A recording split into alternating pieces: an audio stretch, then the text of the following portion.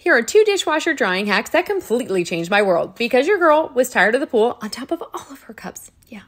Are you ready for hack number one? If you have an adjustable upper rack, lower one side so the water falls off as it dries. Mind blown. I learned this from a dishwasher tech, and yet again, this is just how I do life now. Let's start the wash. And you know what? My washer is kind of stinky, so I'm going to go ahead and throw in a cup of vinegar to knock that smell out. A little bonus tip for you on this rainy day. Don't have an adjustable upper rack? Hack number two is for you. When your dishwasher is done washing, grab a towel, and before you lose faith in me, hear me out. Throw it completely in the dishwasher and shut the door for about an hour or so. The towel soaks up the extra condensation so it doesn't land on your dishes. This is a game changer for glass and ceramic dishes and helps a bit with those impossible to dry plastic dishes. Let me know in the comments how these changed your dishwasher game. Thanks for watching. Like and follow along for more simple tips.